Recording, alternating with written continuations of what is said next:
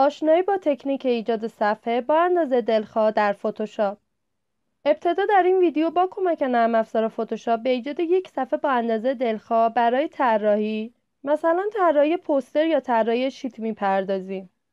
این تکنیک مقدمه برای طراحی است و اولین قدم برای ایجاد شیت و پوستر است. این تکنیک اولین گام برای ایجاد شیت و پوستره.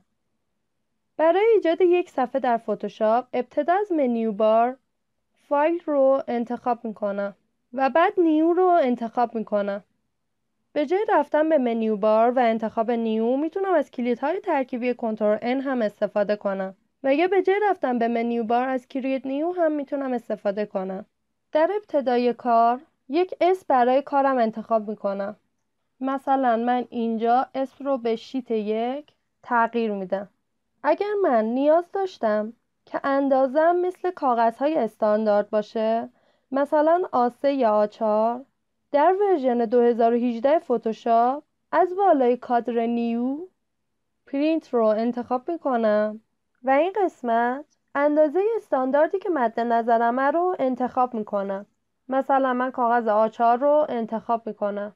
در version های قدیمی تر من از قسمت Preset International Paper رو انتخاب می‌کنم. و بعد در قسمت سایز و بعد در قسمت سایز که داریم نوع کاغذ رو انتخاب می‌کنم. اما گاهی اوقات ما نیاز داریم برای برخی plot ها ابعادی متفاوت از استانداردها ایجاد کنیم. مثلا sheet ی داریم سی در چهل. می‌تونیم به جای انتخاب ابعاد از قسمت پرینت اونها رو دستی وارد کنیم. من به Recent میرم. و اینجا اینچ رو به سانتیمتر تبدیل می‌کنم یا هر سایزی که مد نظرمون هست. و برای مثال عرض هم به سی تغییر میدم و طول هم به چهل. نکته بعدی قسمت Orientation ه که می‌تونیم جهت کاغذ رو انتخاب کنیم. برای افقی بودن کاغذمون می‌تونیم از قسمت Portrait و برای عمودی بودن می‌تونیم از Landscape استفاده کنیم. اگر قسمت Artboard رو فعال کنیم مانند نرم افزار Illustrator صفحات متعددی در یک document می‌تونیم ایجاد کنیم. یعنی می‌تونیم چند صفحه با تنظیمات دلخواه باز کنیم. در قسمت Resolution می‌تونیم کیفیت کار موقع چاپ رو انتخاب کنیم. ما حتما توی این قسمت پیکسل اینچ رو به پیکسل سانتیمتر تغییر میدیم. برای بالا رفتن کیفیت چاپ و حداقل اون رو روی 72 می‌ذارم. هرچی مقدار Resolution بالاتر باشه حجم فایلی که ذخیره می‌کنیم هم بیشتر میشه. مورد بعدی Color Mode ه. که روی RGB Color می‌ذارم. که رنگ های استفاده شده در مانیتوره.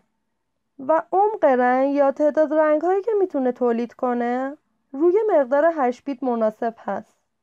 در قسمت Background Contents من رنگ background رو انتخاب می‌کنم. می‌تونم روی سفید مشکی؟ یا حالت بیرنگ بذارم.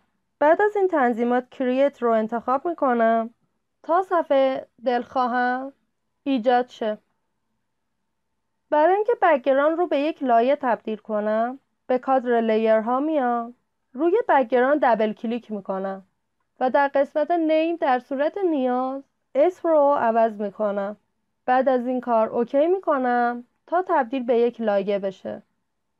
در این ویدیو با گام اول برای طراحی در نرم افزار فتوشاپ آشنا شدیم و می‌تونیم به راحتی در document ی که ایجاد کردیم به طراحی شیت یا پوستر بپردازیم.